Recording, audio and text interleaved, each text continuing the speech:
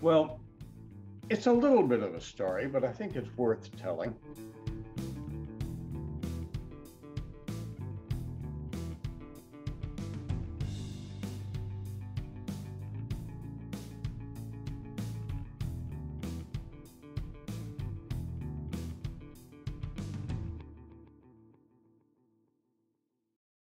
Well, that's pretty simple. Um, I've been writing, oh gosh, for almost 60 years, uh, believe it or not.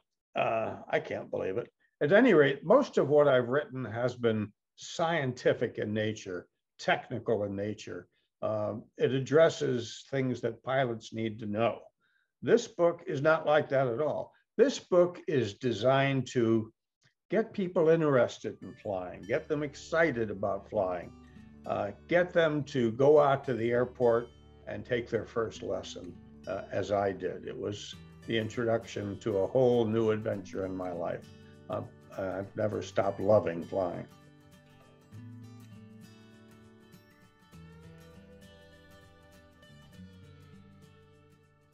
Well, the one message I've always wanted to share, especially with young people, is that aviation, flying, traveling the world is such an exciting adventure. You know, those of us who fly for a living, who, oh, airline pilots, for example, we never consider going to work.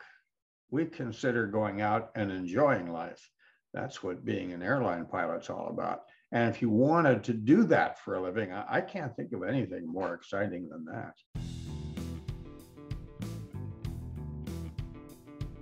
Oh, it has to be learning how to land.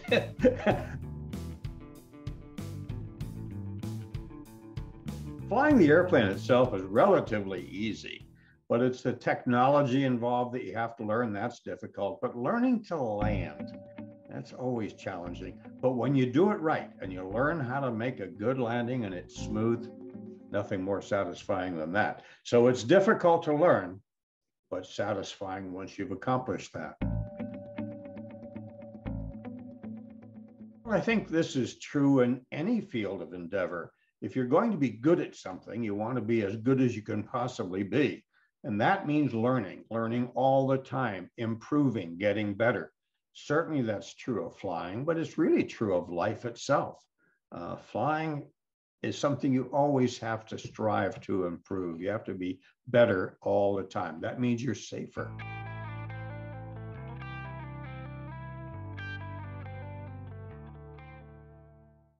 My son Brian, who is a captain for American Airlines, uh, has had the opportunity to do a lot of photography. And he's taken some gorgeous photographs that are uh, in this book, especially weather photographs. Uh, I think he's done a great job of uh, making that contribution.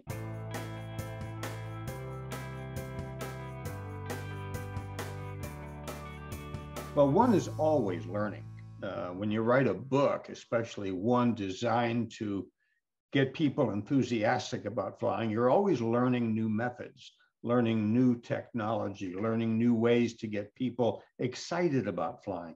And that was the goal of this book to get people interested in flying, to get them in, excited. And, and learning how to do that is always an ongoing process. And it was exciting for me because I think that it was accomplished. I think we created a book that that does get people really interested in wanting to learn to fly.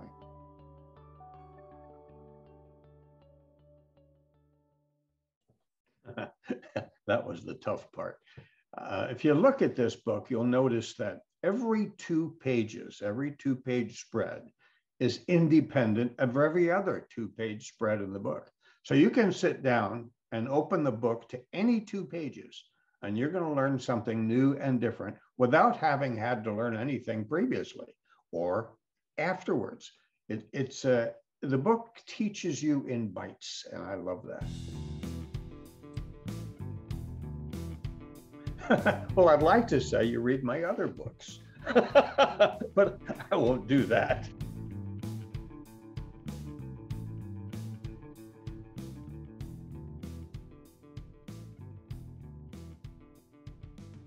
What I will say is that there's enough in this book to get someone excited about the idea of learning to fly. And the next resource is to go out to the airport, find an airplane, find an instructor, and take your first lesson. I can't think of anything better than that. Well, it's a little bit of a story, but I think it's worth telling. I guess I got interested in flying when my parents sent me on an airline flight to visit my grandparents in New Jersey. Uh, we lived in LA. And uh, I was sitting in this airplane looking out the window. It was a Douglas DC 4, North American Airlines. And I looked out at the wing and I knew that it was the wing that kept the airplane up in the air. Obviously, we all know that. But in looking at the wing, I noticed it wasn't doing anything. It wasn't flapping, it wasn't wiggling, it wasn't working, it wasn't doing a doggone thing. And yet it was keeping this big machine up in the air. That, that really puzzled me. I couldn't figure out why. So when I got to uh, my grandparents' hometown in New Jersey, I went to the library and I checked out a book. I, I still have it. It's called The uh, Pre Flight Science of Aeronautics. And as I read this book, I just got absolutely mesmerized. And I was determined to learn much more about how and why airplanes fly.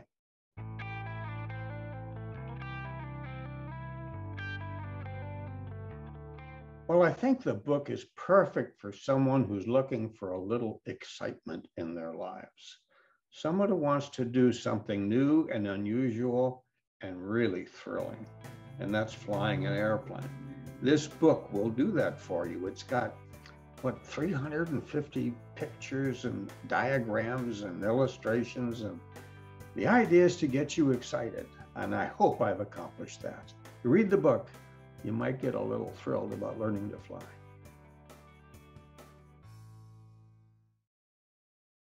Well, I went wherever I could to get photographs, but for the most part, I went to the manufacturers of uh, general aviation airplanes, and they were kind enough to provide some for the book and some really good ones.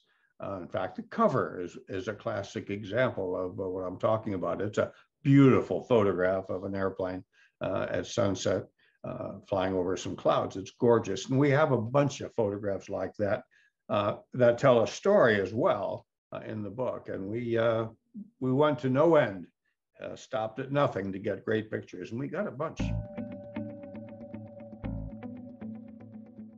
Well, my goal in writing this book is to get people sufficiently interested, excited, and motivated to go to an airport get a hold of a flight instructor at a flight school and take your first lesson. Once you do that, you're hooked.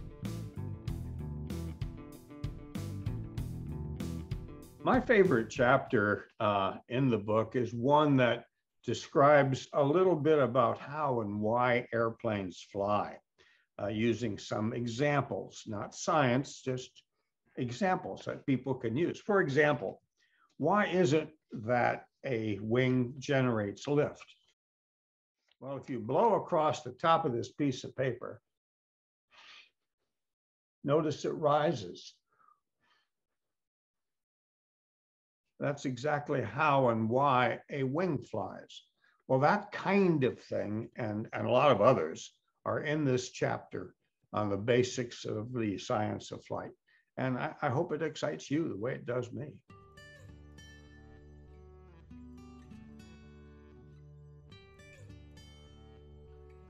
You know, when your son or your daughter says that they want to do what you do for a living, that's a compliment. They have virtually validated your life by saying, I like what you do so much. In fact, I want to do it too. So that's that was just wonderful when Brian, uh, my oldest son, decided he wanted to learn to fly. It was a shock to me. I didn't know he wanted to, but one day he he said, Dad, I want to fly. Will you teach me? I said, You bet I will. And, and I know that he had that same feeling when his son, my grandson, Jonathan, went to him and said, I want to learn to fly too. And so we've made it a family affair. It's, it's, it's great fun, very gratifying.